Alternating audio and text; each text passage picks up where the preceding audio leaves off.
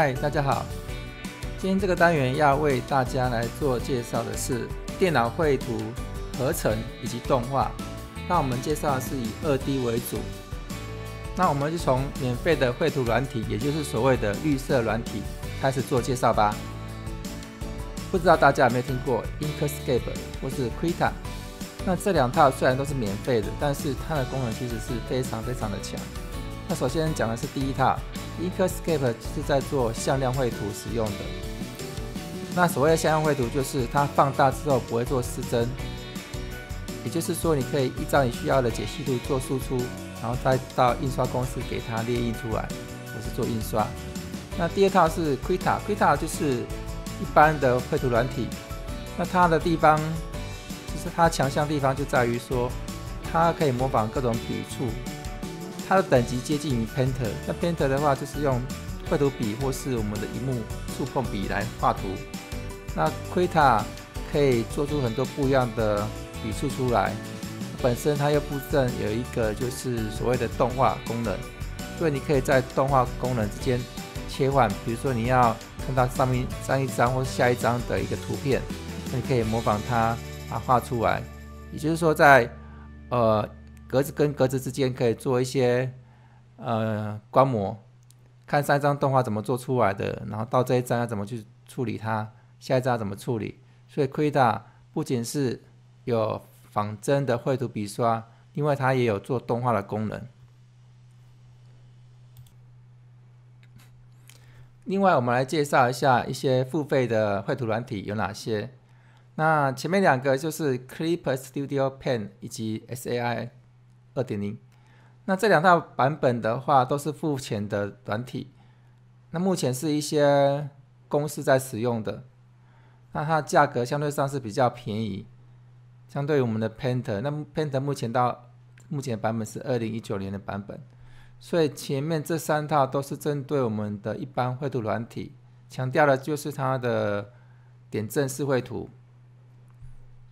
那他们可能有些是着重在。画漫画、画插画等功能，甚至有些也可以做到动画功能。那在国外的话，比较有名的是 Tone Harmony。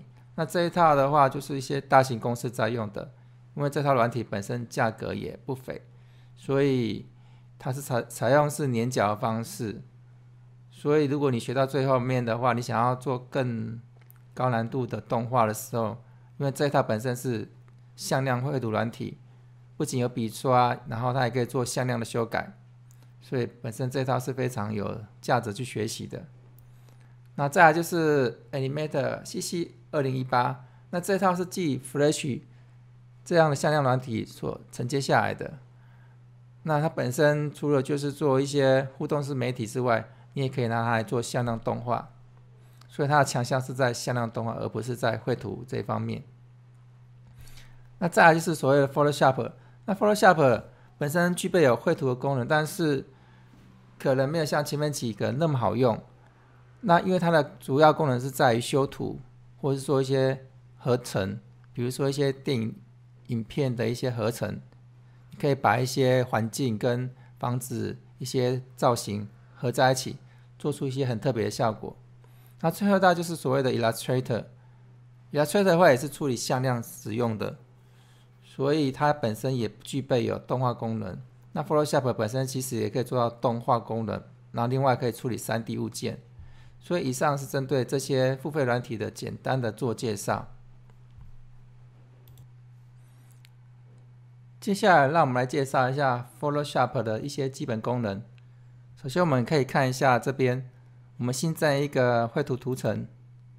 那我们希望在这边可以增加一些效果。那我们新增了哪些效果呢？我们来看一下。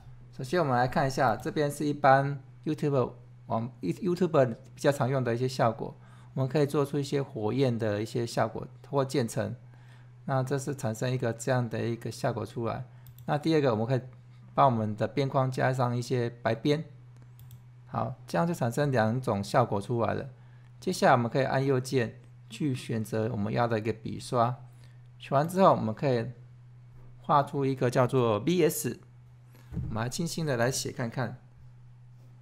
那目前的笔刷大小我们已经调好了，就是这样的大小。我就直接写 V S，大家看一看有没有很像我们这个电玩游戏里面的一些画面，挑战的画面。那这个是我们简单跟大家做介绍哈。